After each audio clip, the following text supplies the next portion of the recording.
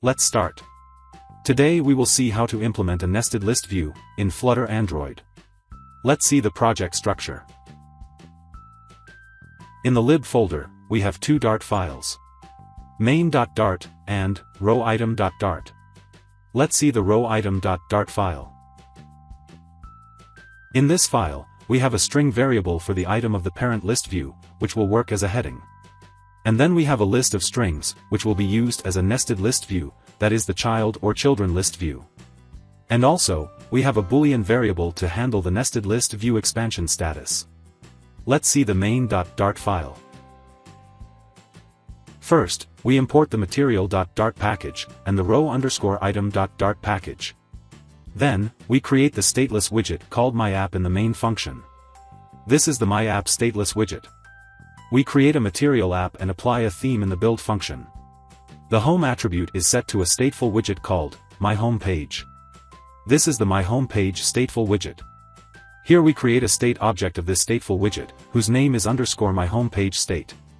This is underscore My Home Page State class, here we will design our app. First, we have two lists of strings as data members. The first list is for the parent list view, and the other is for the nested child list view. Then we have an empty list of type row item class. We will use this list to populate the list view. In the init function, we call the getData function. This is the getData function. Here we put both, parent and children list data into a row item object, and put that object into the list. In the build function, we have a scaffold widget upon which we will build other widgets. The app bar attribute is set to the app bar widget. We have used the title variable as the title of this app bar. The body attribute is to the ListView.Builder widget. The item count attribute is set to the length of the list. The shrinkwrap attribute is true. This is an important attribute and helps in the smooth nesting and expansion operations of the two lists.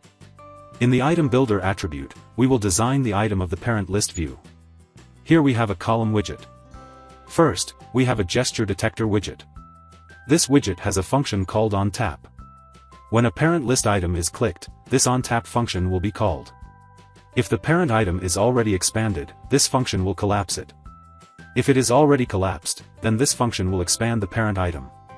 The child attribute of the gesture detector widget is set to a card widget. Inside the card widget, we have a text widget.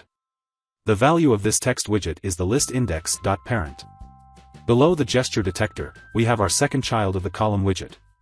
It is a visibility widget.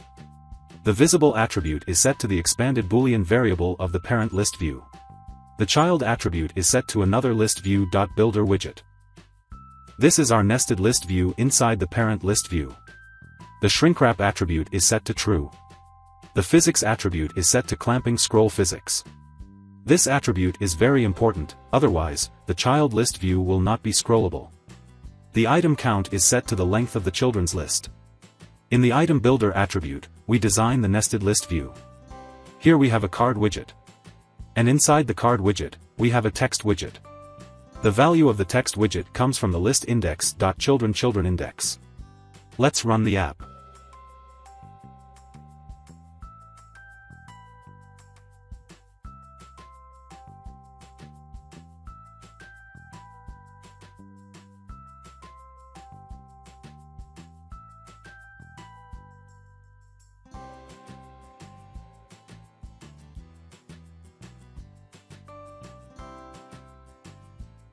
So that's it. That's how you can create a nested list view, in Flutter Android. Thank you.